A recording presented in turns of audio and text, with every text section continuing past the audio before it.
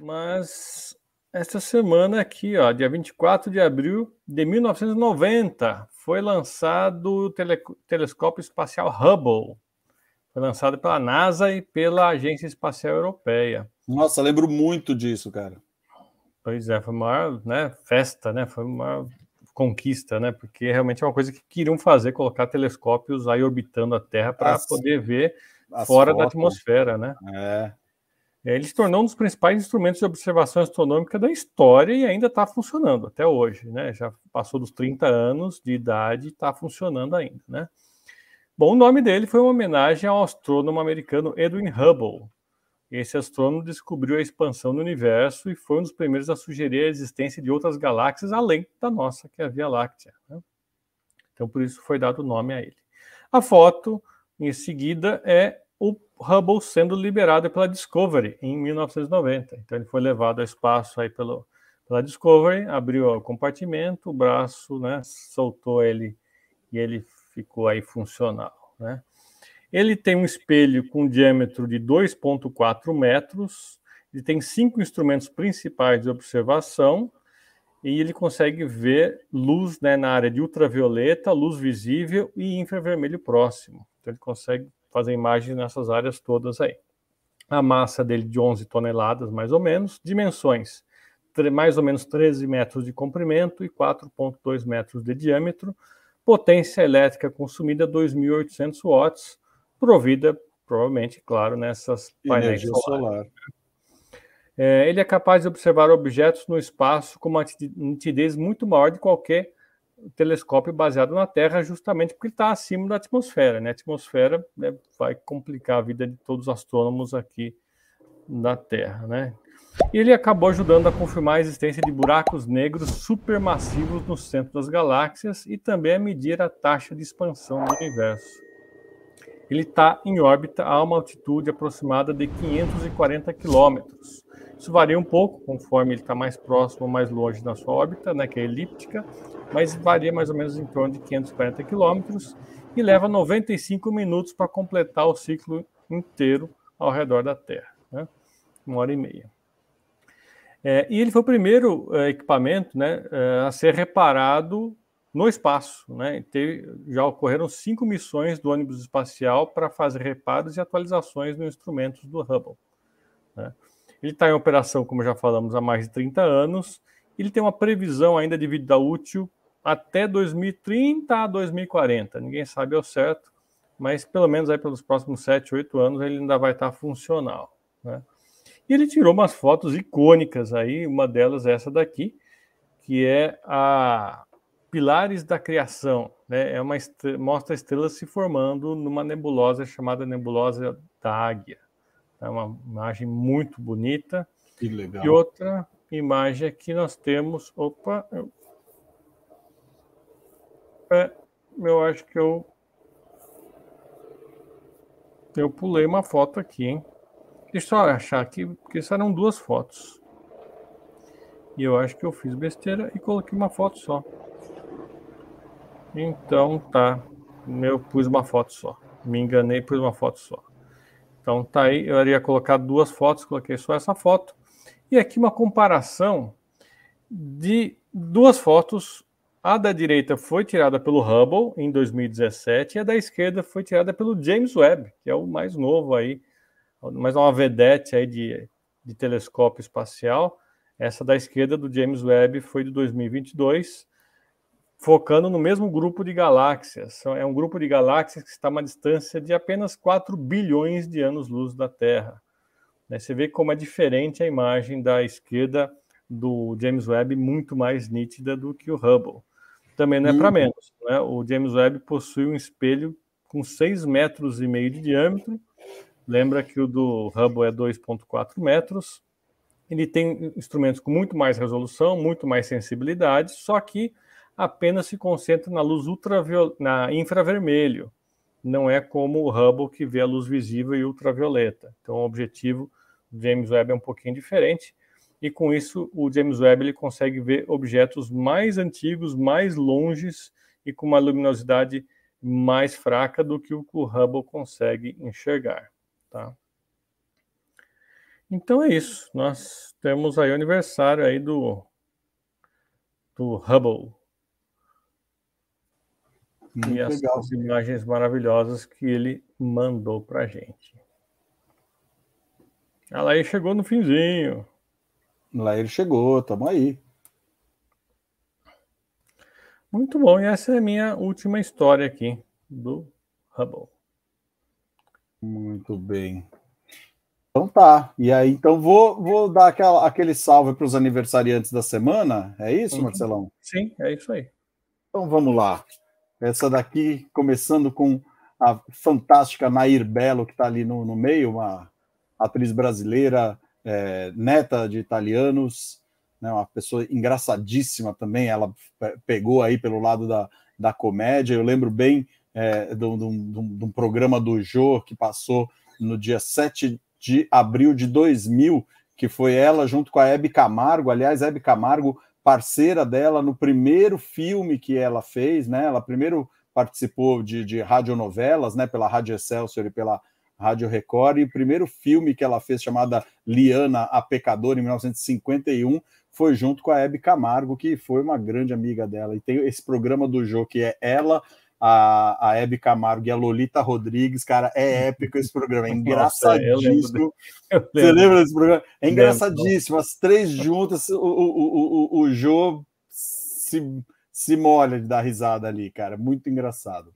É, outro que é tá aí também na, na foto, o Estênio Garcia, é, também fez um monte de, de, de, trabalho bacana, principalmente na TV, com muita, muita novela, muito seriado, e ele acabou é, é, ficando, ficando bastante famoso aí há uns anos atrás, quando a, algumas é, fotos ali, ele foi ca casado com a Clay Diáconis, é, e depois é, ele casou também com a atriz Clarice Piovesan, né, com quem teve duas filhas, e ele atualmente é casado com Marilene Saad.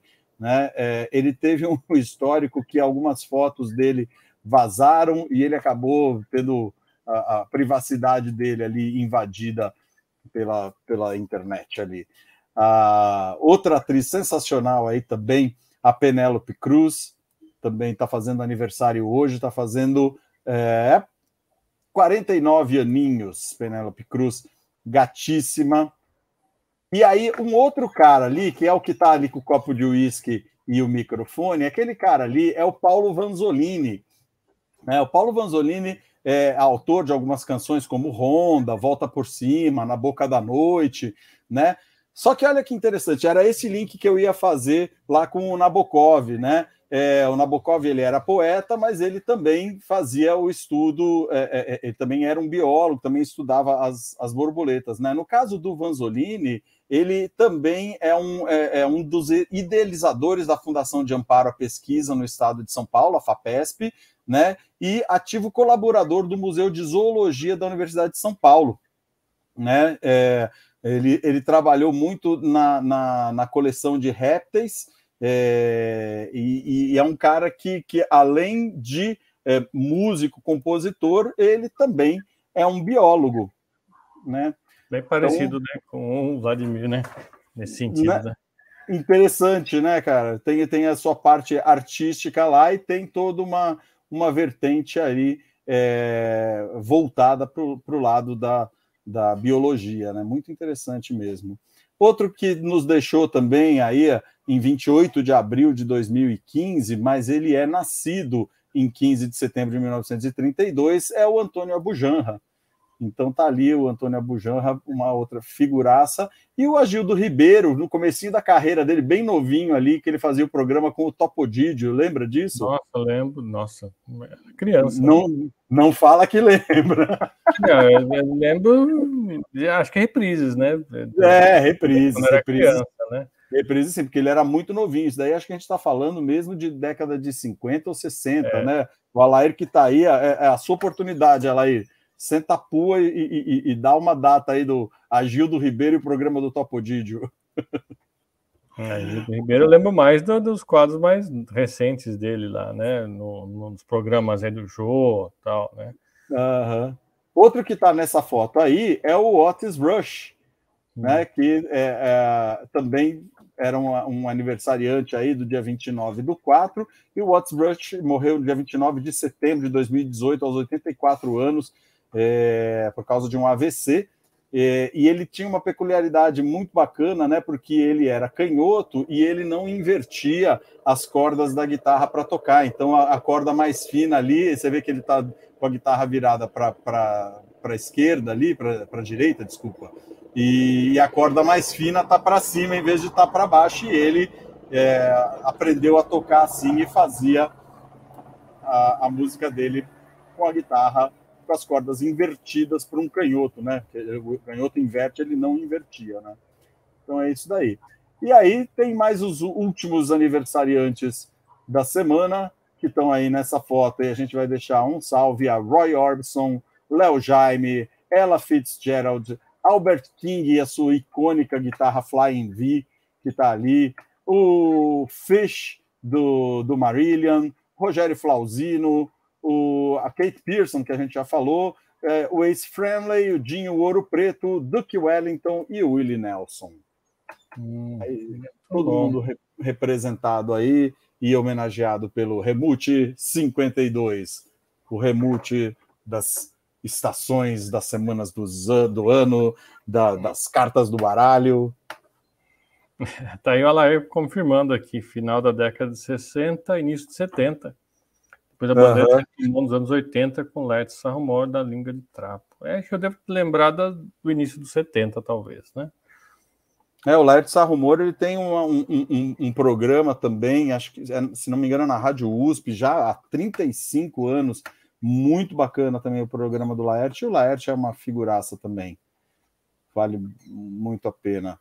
Laerte também acho que é da turma lá do, do Lira Paulistana, né? Do Premier, do toda essa galera aí, do Itamar Assunção, Arrigo Barnabé, Mike, Mike Manghini, Mike Portnoy, Jeff Porcaro. Que são aniversariantes também? Uh, alguns bateristas Mike importantes. Do, do Dream Theater, não é? É do, do, do Dream Theater, é. Portnoy. É, lá ele tá puxando a sardinha pro lado dele, que ele também é baterista. Tá, tá, é. Eu falei dos guitarristas, ele fala dos bateristas. É claro, né? Falei do Muddy Waters, é. falei do Waters Rush, falei do Willie Nelson. Né?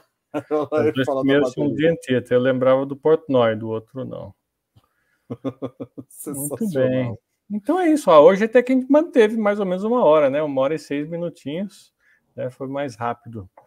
Hoje, hoje recorde também, né? Semana passada foi recorde, ao contrário. É, baixista, nunca ninguém é, lembra de baixista. Né? Mas também olha a hora que o baixista aparece. O baixista aparece às, seis e seis. Caramba. É, ninguém cara. lembra, ninguém ouve, né? Mas ninguém gosta do Roger Waters também, né? Muito bom. A gente tá só bom. sente falta do baixo quando ele não tá, porque quando ele tá, a gente fala assim, não tô entendendo. O que, que aquele cara tá fazendo no palco?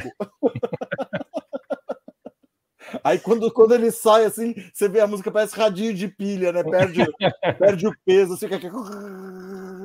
só os médios e agudos ali. Verdade. Bom, é isso então. Chegamos ao final do Remute 52. Muito obrigado a todos do suporte. É, não esqueça de se inscrever, quem não se inscreveu ainda, curtir o vídeo. Tem os cortes saindo na semana. Tem o Spotify para quem quiser ouvir no carro, baixa e, e, vai ouvindo aí. E a gente se vê no volume 53 já em maio, né? Maravilha. Muito bom. Então, nossos Legal, então, parabéns então. aí para o pessoal, os carneirinhenses de Minas Gerais. certo. É isso aí. Valeu, então, galera. Obrigado valeu, aí. Valeu, gente. Até mais. Até semana, que, semana vem. que vem. Valeu. Tchau, tchau.